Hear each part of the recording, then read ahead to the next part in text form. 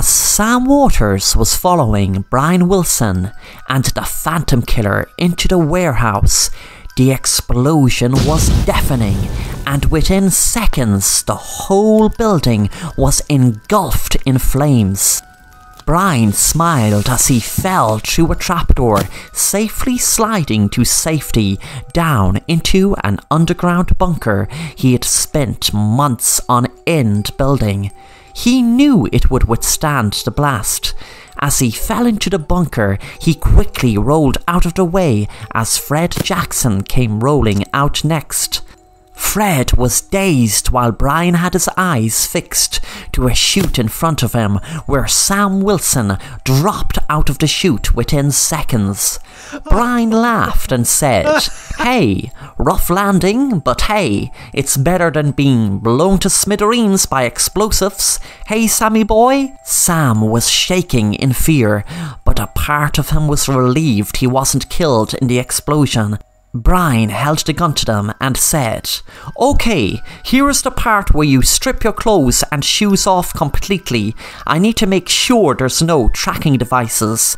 It just struck Brian that everything he was saying would be heard if they were wearing a listening device. He kicked himself for that flaw in his otherwise ingenious plan.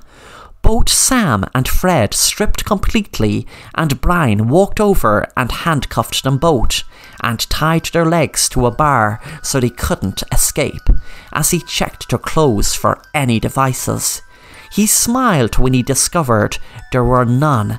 After a thorough search, he threw the clothes back to them and uncuffed them and told them they could get dressed. Up on the ground outside the burning building, the sheriff said to one of his officers, Do you know what's funny about this whole thing? The officer replied, What, sir?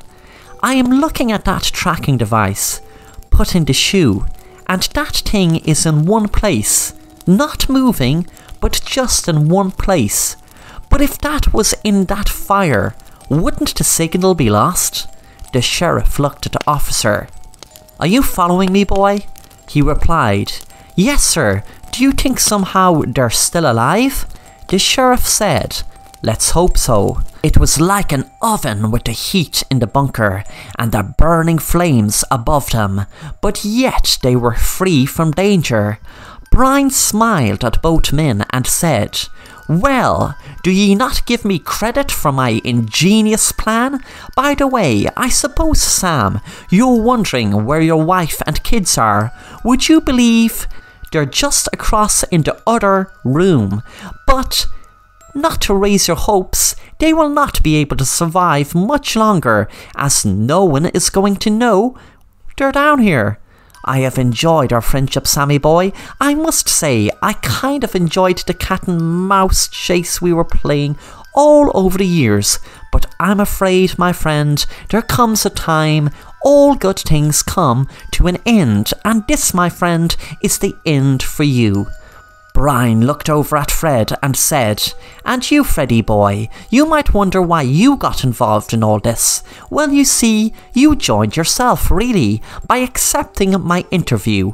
I was going to do a live podcast and then have you killed, but I said, This will be better.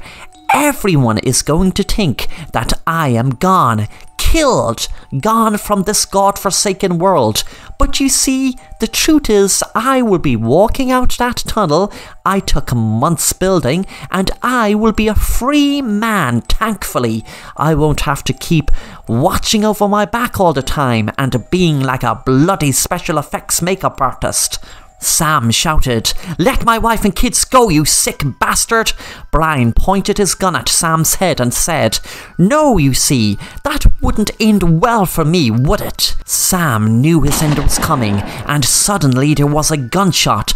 Sam fell to the ground. Fred screamed, looking at Sam fall hard on the ground.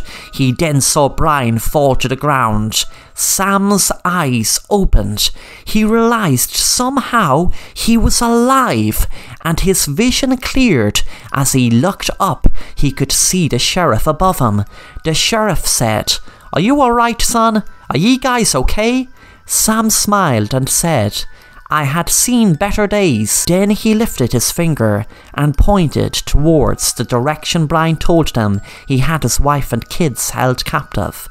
The sheriff looked over at Fred. Well, son, you sure will have a lot to talk about on your next podcast. Fred smiled and said, What made ye guys guess we weren't killed in that explosion? The sheriff pointed to Fred's shoe and said, The answer is in your shoe. Fred thought, of course, the tracking device, and thanked God Brian didn't check his shoe better. A few days later, Sam Waters, his wife and kids were guests on Fred's podcast show, and the listenership ratings went through the roof, giving Fred's True Crime podcast the highest rating ever for his show.